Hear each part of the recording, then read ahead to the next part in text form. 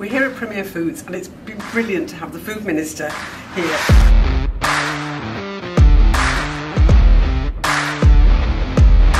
He's seen firsthand what fantastic food manufacturing we have in the city. Fantastic, Jo. Well, thank you for showing me around for a start. We didn't actually meet Mr. Kipling, we were asked to some of his exceedingly good cakes. Uh, what a brilliant factory. Great jobs for the uh, area. Uh, selling food all around the world, food and cake, and, and many other products, uh, exporting it around the UK as well as the rest of the world. Fantastic business.